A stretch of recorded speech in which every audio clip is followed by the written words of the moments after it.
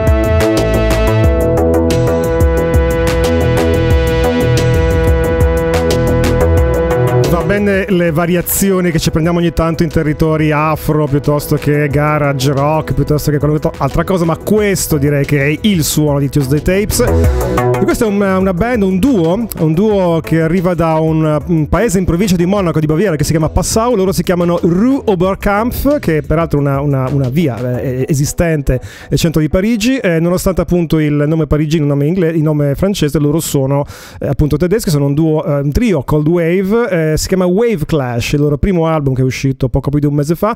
Questa era eh, una cosa molto strana e molto Tuesday Tapes. Questo pezzo si chiama Le Train ed è una cover di un dimenticatissimo gruppo eh, proto IBM belga dei primi anni 80. Loro si chiamavano Absolute Body Control. Non fecero neanche nessun album, fecero un paio di cassette poi sono stati recuperati un po' eh, negli, negli ultimi anni grazie appunto a questa seconda, un, terza ondata ormai di revival per, per la prima IBM. Arrivavano ad Anversa e il pezzo in origine si chiamava Melting Away, appunto gli Ru- Ruoberkampf l'hanno trasformato, hanno tenuto diciamo una specie di suggestione melodica del pezzo originale, hanno cambiato il testo, l'hanno tradotto appunto in, eh, in francese chiamandolo Le Train. Ehm, torniamo in Italia, torniamo in Italia con un progetto che si chiama Strata Gemma, eh, eh, loro sono un trio, potremmo definirlo post club jazz eh, di Modena, uno dei tre, in realtà è una vecchia conoscenza di Tuesday Tapes, è Nicolò Bruni, a.k.a. Billy Bogus, si chiama come loro Strata Gemma, il loro primo album che è uscito lo scorso marzo, molto in- intenso, molto di atmosfera. Il pezzo che ascoltiamo si chiama Feltram.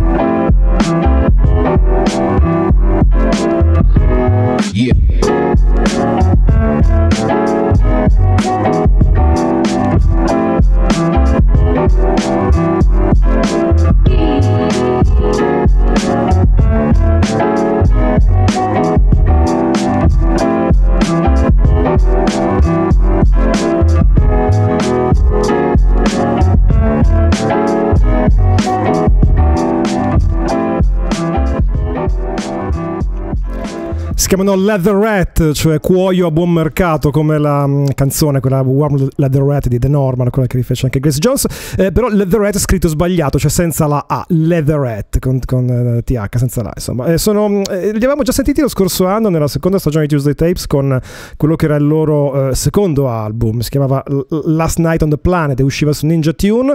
Eh, dopo essere stati, diciamo, scaricati, immagino, da, da risolto insomma, il rapporto con Ninja Tune, hanno continuato a fare dischi in maniera molto estemporanea, però pubblicando molti 12 pollici. Questo è l'ultimo uscito lo scorso 8 giugno, si chiama AP Number 5. Loro sono due amici di infanzia di Wolverhampton. Eh, la, la cosa buffa che già raccontai lo scorso anno è che sono nati eh, a poche ore di distanza l'uno dall'altro eh, eh, durante una tempesta di neve che rimase leggendaria a Wo- Wolverhampton. E, sono conosciuti poi da grandi, entrambi appassionati di musica, hanno scoperto di essere nati nello stesso ospedale eh, a poche ore di distanza l'uno dall'altro. Questo invece è un signore, anzi un signore, un duo. Io non so perché lo, sempre- lo penso sempre come uno, ma in realtà sono due. Si chiama Ame, Am, un duo house tedesco in circolazione già dai primi anni eh, 2000. Si chiamano invece loro due Frank Wilderman e Christian Bayer. È uscito da pochi giorni il loro terzo album, si chiama Dream House. Questo è un pezzo con eh, Jans Kuros alla voce. Si chiama Give Me Your Ghost.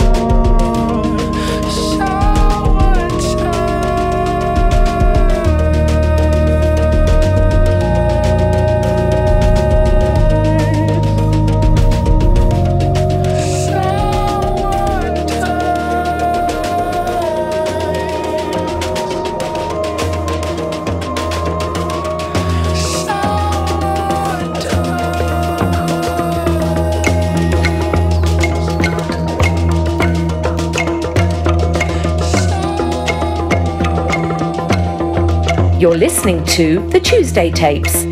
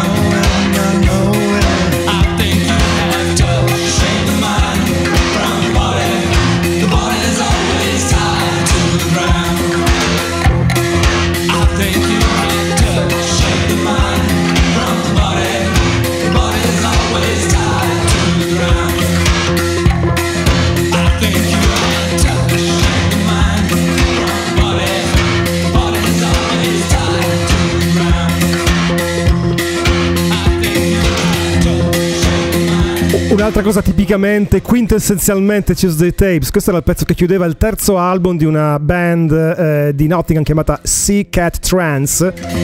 L'album si chiamava eh, Zuave, usciva nel 1986, i, i Sea Cat Trance erano un um, trio eh, fondato appunto a Nottingham nel, nel nov- nell'83 da due fuoriusciti di una band dimenticata però come si suol dire seminale, si chiamavano Medium Medium, una di quelle band poi recuperate qualche anno fa in tutto quel calderone che andava a ripescare la, la scena cosiddetta in maniera un po' semplic- semplicistica funk punk inglese a cavallo appunto tra il, il post punk e la new wave. Questo è un pezzo chiamato Shake the Mind. In realtà Sea Cat Trance hanno avuto un- una specie di, di piccolo revival di nicchia nell'ultimo anno e mezzo grazie a un'etichetta mh, eh, israeliana che si chiama Malkatuti che ha iniziato a ristampare intanto il loro materiale originale, poi in particolare a far remixare i loro pezzi a gruppi di oggi, a DJ di oggi che in qualche maniera eh, sono in sintonia con quel suono ethno wave dei Secret Trance, per esempio Red Access, che hanno infatti remixato questa Shake the Mind. In un 12 pollici uscito lo scorso anno ma ristampato proprio pochi giorni fa dalla Malcatuti e quindi questa Shake the Mind da Red Access, il remix dal secondo volume del collana Remix Secret Trance su etichetta Malcatuti.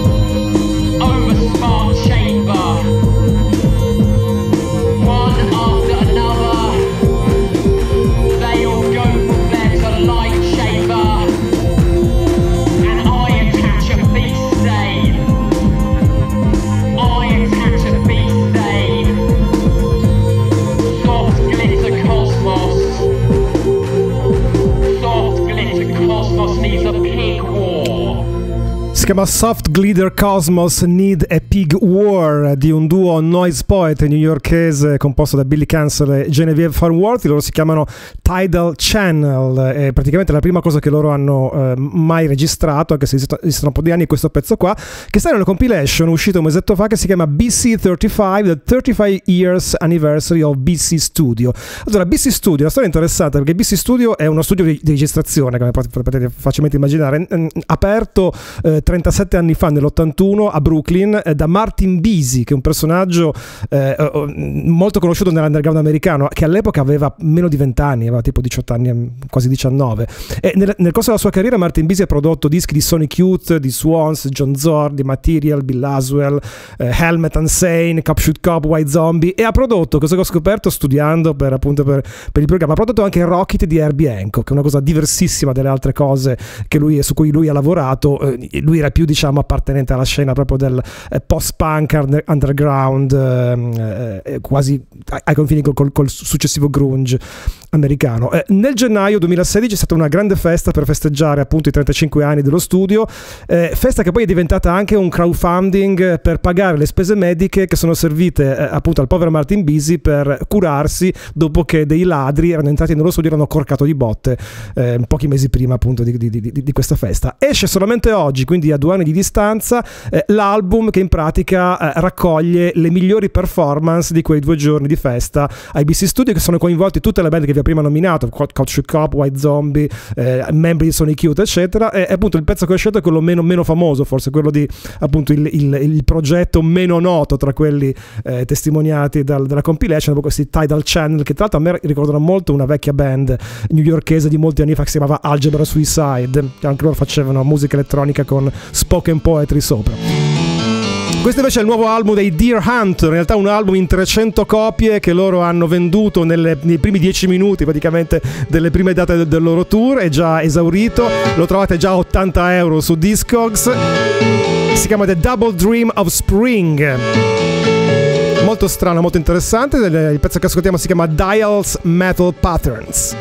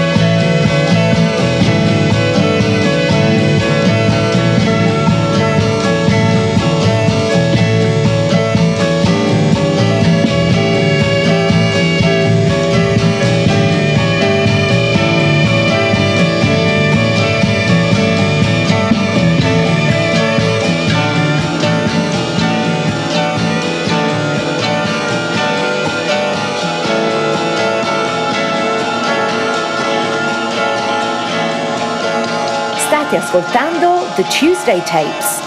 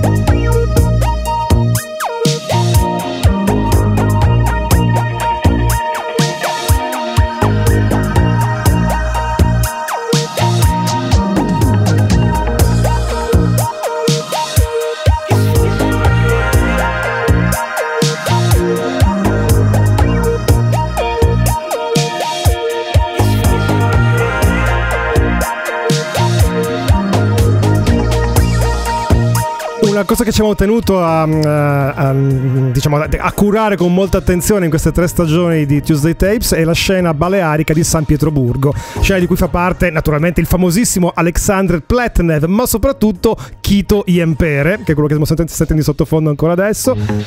DJ appunto di San Pietroburgo che ci ha fatto scoprire il nostro amico Marco eh, Pidu Gallerani, boss dell'etichetta Hell Yeah e anche del Balearic Gabba Sound System. Questo appunto è un disco appena uscito per Hell Hell Yeah e si chiama Sea Monsters Remixes Part 2 ed è una raccolta di remix eh, fatti da gente anche importante come Jimmy Tenor per esempio, eh, di pezzi pubblicati lo scorso anno da Kito Iempere che è appunto una presenza abbastanza eh, costante nelle scalette di Tuesday Tapes. Questo è un pezzo chiamato Ampa, eh, il pezzo, la versione che abbiamo ascoltato era il Max Essa Dub Reprise.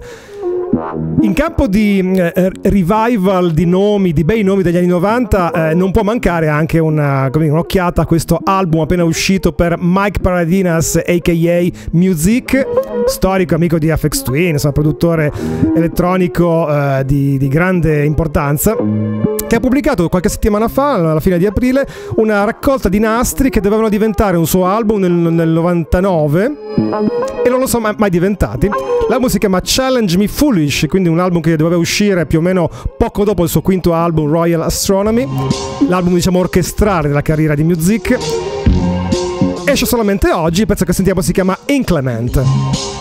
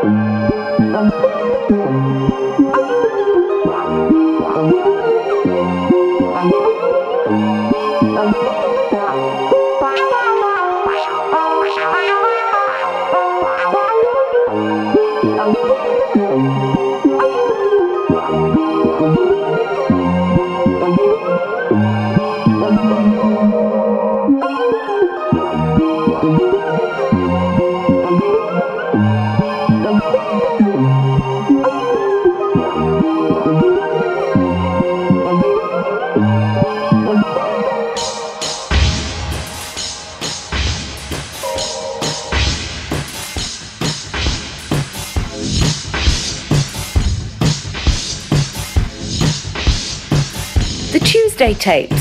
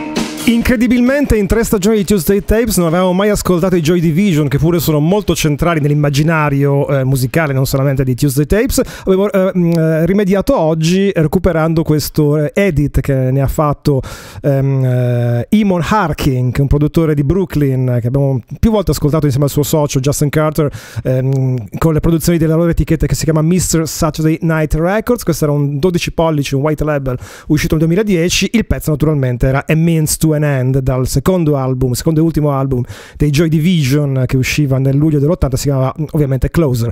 Rimaniamo eh, diciamo a Manchester, nel senso che i Joy Division erano di Manchester e, e- e gli Smith sono di Manchester, parlando di un personaggio che si chiama eh, Troy Tate. Troy Tate in realtà è un musicista di Liverpool che ha suonato nel- nel- negli anni d'oro della New Wave con una band chiamata Teardrop Explodes, la band di Julian Cope, poi anche con un- una band più, più sconosciuta che si chiamava Fashion, che era una specie di versione tarocca dei Japan. Comunque Troy Tate diciamo, ha avuto un momento di, di- di- di- sconosciuta gloria, potremmo dire con un controsenso, eh, quando gli Smiths lo chiamarono a produrre il primo album degli Smiths. Eh, purtroppo poi Morrissey non, non gli piacque il tipo di lavoro che fece in, eh, appunto in, in produzione Troy Tate, per cui mh, eh, cancellò praticamente, bu- buttò via quei nastri e fece rifare completamente il, il lavoro di produzione a un altro produttore. Questi nastri però sono rimasti in qualche maniera nascosti, i, i fan degli Smiths ben li conoscono perché poi sono usciti su torrent, insomma in rete si trovano abbastanza facilmente da ascoltare. Eh, Troy Tate diciamo che a- al di là di questo momento di fama eh, n- sotterranea grazie appunto alla, alla luce riflessa degli Smiths ha avuto una sua carriera solista dopo i titoli Explodes devo dire non di grande successo fuori dall'Inghilterra ma in Inghilterra per almeno un suo 45 giri ebbe un piccolo successo si chiamava Love Is usciva nel- nell'83 lui è Troy Tate think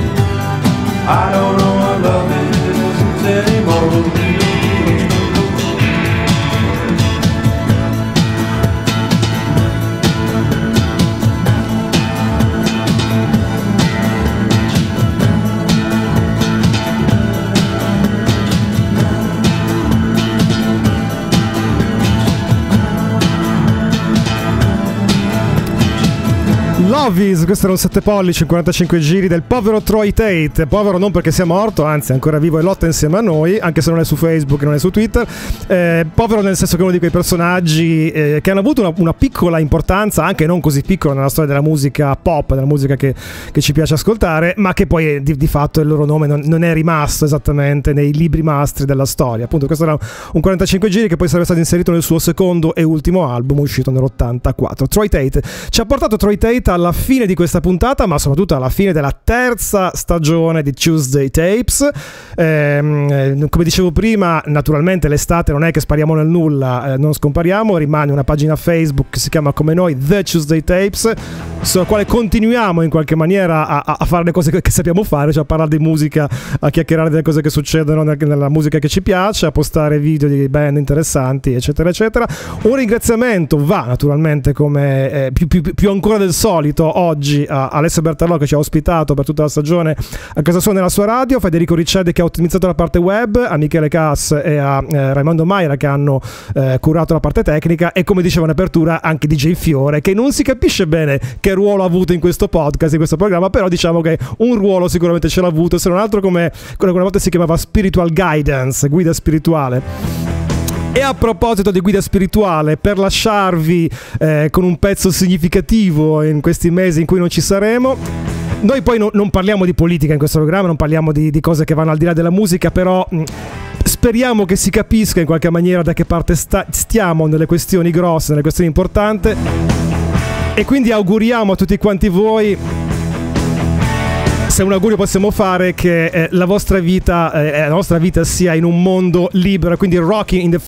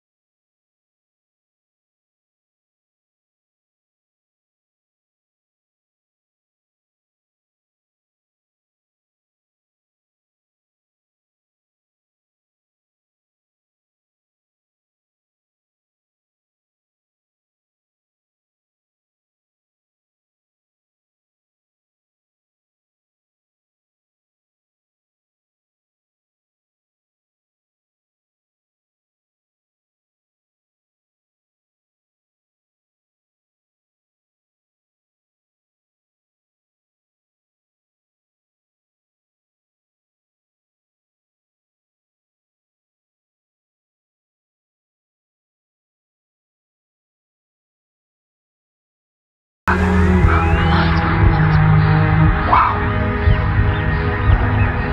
Ryan. Yeah. You should see the sun on the Ganges. It's amazing.